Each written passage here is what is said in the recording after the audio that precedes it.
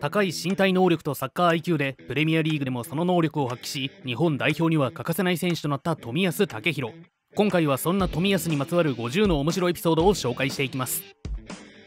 姉の影響でもともとは水泳を始める予定だった冨安だが祖父母の家にあるランニングマシーンで遊んでいたところ顎を負傷し水泳を断念する。水泳を断念した冨安が選んだのはサッカー。福岡のサッカーチームサンチクキッカーズに所属していた時サンチクキッカーズの監督にドリブルさせたらおそらく福岡県で彼に追いつける足を持っている子はいなかった。恐ろしいくらい速かった。と言われるほど飛び抜けていた模様。そんな幼い頃から足に定評のある冨安の母親は元陸上選手。父親は剣道と野球の経験者とかなりのスポーツ一家の模様。練習のない日は公園で自主練など当時から半端ない練習量をこなしていた冨安少年。練習には常に一番に来て手伝いをし終わってからの片付けも手伝う優等生ぶりを発揮していたらしい。小学生の頃多くの同級生がプロサッカー選手になりたいやお金持ちになりたいと書く中冨安はサッカー選手になってお父さんとお母さんにお家を建ててあげたいと書いており親孝行の概念を小学生にして持っていた模様。日本代表の遠征中ホテルの部屋で壁に向かってボールを蹴っていた冨安に対し隣の部屋の堂安律がやってきて「富やめてくれ」と隣の部屋から苦情が来るほどボールを蹴ることに夢中になってしまう。またボールを持ってホテルの部屋から出てきた冨安はずっと練習してないしてないからととっさの発言に博多弁が出てしまう。新型ウイルス流行中にワクチン接種が開始されると日本国民は無料で接種できるのを知らずワクチン接種に行った冨安はいくらですか？と聞いてしまう。アカデミー選手からモチベーションを高く保ち続けるためにはどうしたらいいですか？と質問された冨安だったがサッカーに対するモチベーションがない日はなかったため質問に答えることができなかった模様。なおアビスパのアカデミーの指導者はこれに対して冨安はモチベーションが枯れた経験のない選手と紹介。怪我が多いことからルーティンを変えるなど日頃から繊細なことにも気をつけている冨安は何か変えなきゃと考えた結果変えたのは車。なお日本代表の中ではかなり話題になったらしい。ワールドカップのインタビューにてスペインの選手で誰が好きかと質問された冨安はリバプール所属のチアゴと回答するもこれに対して記者はチアゴ？チアゴチアゴ・アルカンタラ？と驚かれてしまう。それもそのはず。冨安が好きな選手に挙げたチアゴ・アルカンタラはまさかの招集外。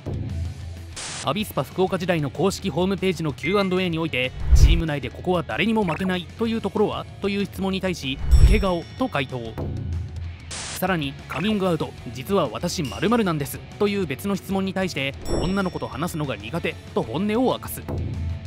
そんな冨安の好きな女性のタイプは料理ができる尊敬できる気が利く女性らしく理想のタイプの女性として女優の新垣結衣さんの名前を挙げている模様。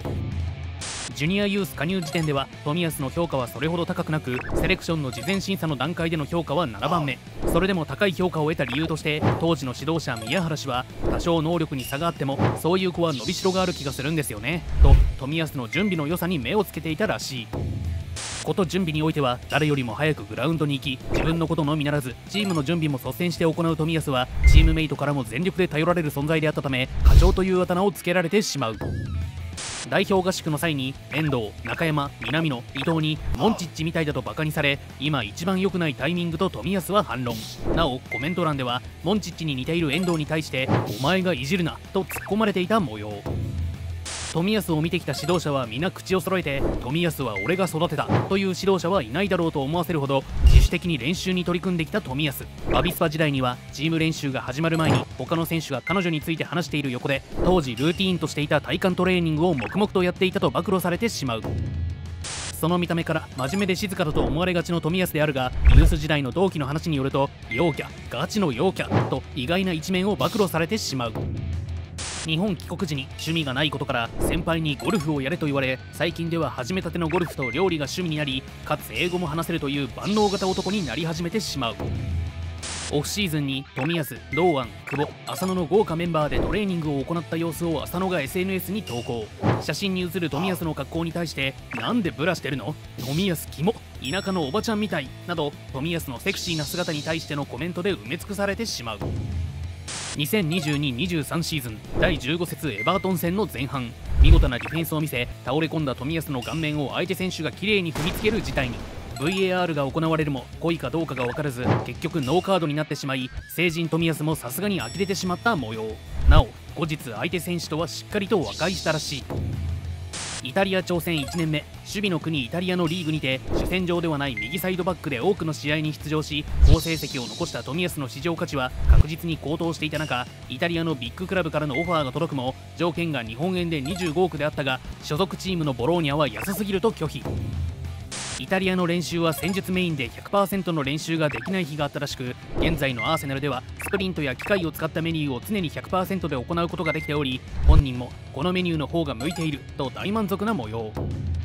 マンチェスターシティとの天王山にて背後へのボールへ対応したクリアミスで相手に得点を許してしまった冨安この失点直後キャプテンのウーデゴールに顎食いで励まされるとハイライト動画のコメント欄ではウーデゴールの優しさに感動。BL 作品にできそうなど盛り上がってしまう。ボローニャ所属時クラブの選手やスタッフの前で英語版パーフェクトヒューマンをノリノリのダンスとともに披露した冨安に大きな拍手が送られた模様。なお周りの選手からは寿司という文脈もクソもない単語が飛んでいた。ある試合で控えスタートであった冨安だったが相手の控え選手トッテナムのリシャルリソンがスローインを投げようとする味方選手に近寄ったため冷静に手で止める姿がカメラにキャッチされるとこの行動に対して冨安どこでもディフェンスしてて草投げた後2人ともボールを追ってるのスコと話題に。ボローニャに合流した際輪を作っていた選手たちの中心に呼び出された冨安はここでも華麗なダンスを披露。これには自らはしないが求められると意外とできるのが冨安なのかもしれないと好感度が上がった模様。日本対韓国の試合で相手選手の肘打ちを食らってしまい流血した冨安だったが SNS を通じて試合中には起こり得ることで彼が故意的にやったことではないと信じています。もうすでに謝罪のメッセージも受け取っていますし大きな問題にならないことを願っています。というコメントに日本でも韓国でも心の広さが話題に。黒髪で真面目なイメージが浸透している冨安だが金色の入ったメッシュにイメチェンした姿を見たファンから若返ったと多くのコメントが来るも若返ったというより今も若いぞ。もともと若いってとツッコミ合戦でコメント欄が盛り上がってしまう。テレビの密着取材番組に出演した冨安。ロンドンのおしゃれな街中を歩きながら撮影していたが冨安の黒い T シャツにネックレスといった服装にネットではネックレスなんかつけちゃってと普段の冨安のキャラとのギャップからか親心のようなコメントが多数見られる。第10節のリバプール戦でフル出場を果たしたチームの勝利に貢献した冨安は試合後自身の SNS で勝利を報告するとチームメイトの坂からマシーンとコメントされてしまう。なお坂はたびたび冨安のことを彼はマシーンみたいだと評価している模様。今季のある試合にて試合終了後ロッカールームに帰ろうとして冨安は観客席まで戻ってくるとサポーターに自身のユニフォームをプレゼント。渡した後のウインクの顔にコメント欄は神対応かっこいい童貞の希望など称賛のコメントで埋め尽くされる。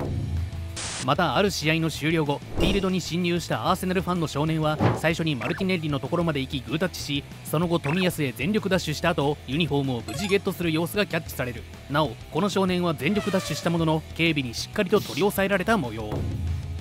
そんな冨安のファン人気はすごくユニフォーム争奪戦の倍率はかなり高いらしい。とある試合後にいつものようにサポーター席に行ってユニフォームを渡したサポーターが美人すぎると話題に。これには美人選んで渡すの草この童貞っぽさがすこなど嫉妬のコメントで埋め尽くされてしまう。2017年3月19日の J2 第4節のロアスト熊本戦にて J リーグ初ゴールを決めた冨安。その時のゴールパフォーマンスは123俺というものでありきたりすぎると話題に。カタールワールドカップのドイツ戦の前のインタビューにて英語で意気込みを語っておりドイツと戦う覚悟はできている。自分たちが自分を信じないといけないと試合前から自信はあった模様。代表活動中子供たちから応援メッセージをもらいそのメッセージとともに写真撮影をしないといけない冨安だったが写真用の笑顔はめちゃくちゃ下手くそだった模様。なおキャプテン吉田麻也は潜在写真でよく見るアイドルさながらの笑顔を披露これまで怪我が多い冨安であったがあるインタビューにて新しいブーツを試すとかかとに痛みを感じることがあった。けどアシックスのスパイクだと違和感ありませんでした。と回答したことでスパイクが原因だったのではと話題に。どういう経緯か？人気 YouTuber ヒカルのブランドリザードを冨安が着ていると話題に。着心地の良さなのか？この服を着てメディア出演もしていたらしい。なお冨安が怪我をした際にはヒカル出版の本のタイトルにちなんで心配すんな。全部うまくいく。といったファンの優しさが垣間見える。アメリカとの国際親善試合の際に相手コーナーキックでマッケニーをマークしていた冨安何度か手でちょっかいをかけたことにマッケニーが激怒し審判に止められてしまうも冨安の行動に対してファンが経験値が出ている。これが世界とまさかの称えるコメントで盛り上がる。ワールドカップのクロアチア戦においてペリシッチと1対1になるシーンで冨安は相手の攻撃を遅らせながらシュートに対してブロックに入り失点回避。このプレーに対して解説の本田圭佑は素晴らしいとコメント。ある試合にて味方のコーナーキックから始まったプレーで冨安がボールを受け取るもまさかのパスミスで敵へボールが。このプレーに対してアルテタ監督はたまらず体を動かして冨安にブチ切れる様子がカメラに抜かれてしまう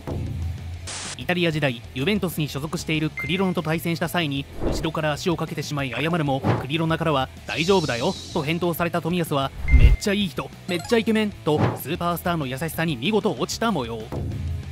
対人に定評がある冨安はプレミアリーグ第10節のリバプール戦にて見事相手のエースでもあるモハメド・サラーを完全に抑え込む好プレーを披露。なおこの試合でサラーは65分で交代に。ワールドカップで大活躍をしたグアルディオラをウイニングイレブンで冨安が超えていると話題に。これに対し賛否両論が巻き起こるも結果どちらも使えるというコメントが一番多かった模様。代表活動中に小学生から応援メッセージを受け取り笑顔を見せる冨安だったが黒いマウスピースをつけていたため付けに拍車がかかりおじさんじゃなくておじいちゃんだわとそうツッコミをされてしまう。サッカーゲームといえば FIFA だがよく話題に上がるのが顔が似ていない問題であり冨安も例外ではなく FIFA22 と FIFA23 の変化がえぐいと話題に。なお FIFA22 の冨安はもはや誰かわからないレベル。プレミアリーグでプレーした選手11人という質問をされた三笘薫は順調に名前が出てくる中ヒントをもらっても最後まで冨安の名前が出てこず怒られちゃうよと笑ってごまかしてしまう。同じプレミアリーグに所属し日本代表でもワールドカップを共に戦いとても親しいと言われている中で忘れられたことが話題に。アーセナルでの冨安の応援歌は彼は寿司を食い朝日を飲む。やつはクソ最高だというものでありファンは冨安が大好きな模様。ということで今回は富安武宏にまつわる50の面白いエピソードを紹介してきました。まあまあおもろかったじゃんと思った方は高評価と感想だけでもお願いいたします。それではまた。